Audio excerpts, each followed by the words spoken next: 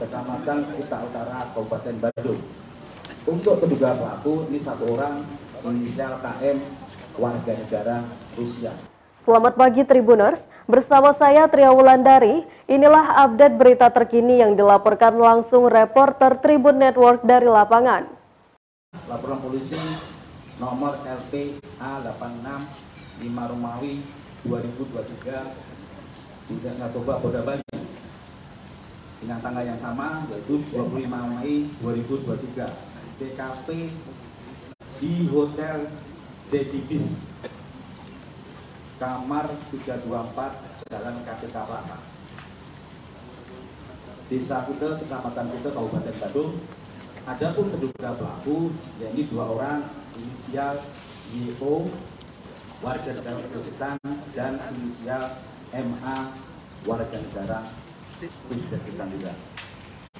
Kemudian yang ketiga yaitu laporan polisi nomor LPA 87 5 Romawi, 5 Romawi 2023 yaitu tanggal 25 Mei 2023 TKP di sebuah villa di Jalan Bidadari nomor 7 Kelurahan Probokan Kecamatan Kuta Utara Kabupaten Bandung untuk terduga pelaku ini satu orang inisial KM warga negara Rusia.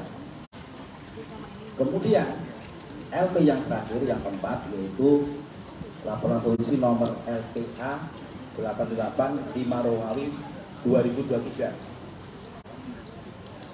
tanggal 25 Mei 2023 TKP di rumah kontrakan Jalan Bersira Banjar Tegal Suci Desa Tampak Siring Kabupaten Gianyar.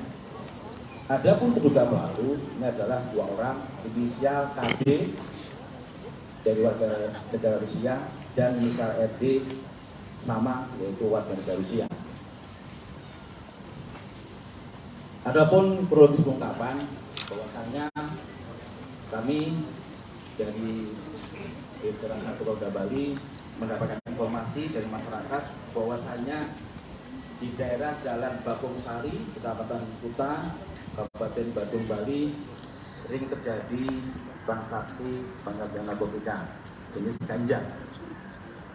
Kemudian dari informasi tersebut, anggota telah mengamankan inisial AB dan inisial S yang di mana TKP-nya di jalan uh, ulangi TKP-nya di parkiran depan Hotel Ramayana.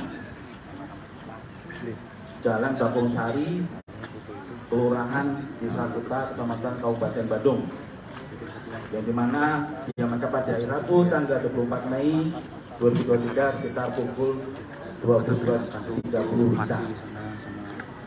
Adapun dari dua orang yang diamankan di lokasi tersebut, dari kedua kedua kedua kedua pelaku telah diamankan barang bukti yaitu yang pertama ganja.